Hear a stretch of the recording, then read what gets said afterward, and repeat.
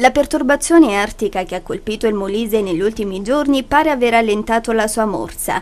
Anche questa mattina il capoluogo di regione si è svegliato con piccoli fiocchi di neve, ma le temperature in aumento non destano preoccupazione e il peggio sembra essere passato. Questo almeno nella zona centrale. Nei piccoli borghi e paesini di montagna restano ancora tanti disagi provocati dal maltempo, soprattutto per quanto riguarda la viabilità. In base a questo, infatti, tanti comuni che hanno disposto la chiusura dei plessi scolastici di ogni ordine e grado.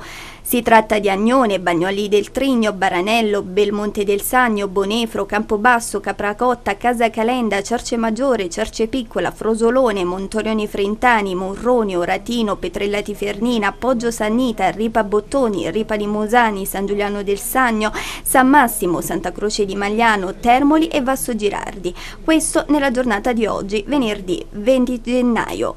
Le principali strade coperte di fanghiglia nella zona centrale del Molise invece fango e acqua sulla costa dove una pioggia alluvionale ha spazzato argini e alberi, sommergendo campi di fango e rendendo insidiosa la viabilità finanche sulle arterie come la Bifernina, il bivio di Guglionesi.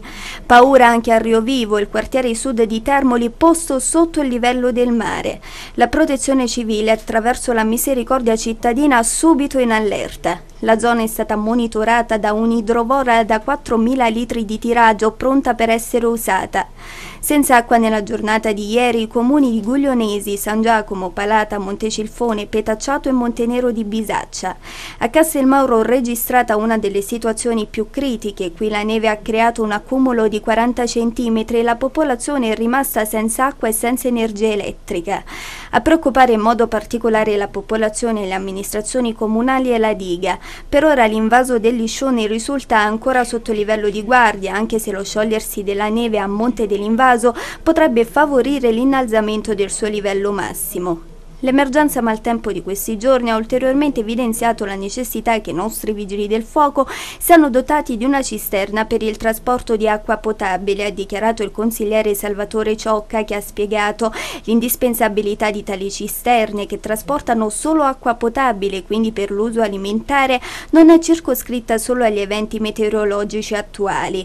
Per questo è stata inviata una precisa richiesta alle prefetture di Campobasso e di Isernia, presidi territoriali di governo, ritenendo che tale necessità debba essere evidenziata e avanzata nelle sedi del Ministero dell'Interno al fine di rendere maggiormente incisivo l'inestimabile lavoro svolto sia dalla protezione civile sia dalle associazioni di volontariato che, avendo tali mezzi a disposizione, riescono a tamponare le richieste che soprattutto in situazioni di emergenza come quella attuale sono numerose e pertanto difficili da poter gestire tutte insieme.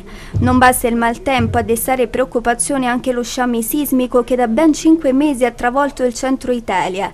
Le tre scosse di magnitudo superiore a 5 registrate due giorni fa nell'Aquilano ed avvertite anche in Molise hanno allertato nuovamente genitori, soprattutto nel capoluogo Pentro. L'ultima scossa con epicentro Baranello invece è stata registrata ieri sera intorno alle 20.02 con magnitudo 3.0.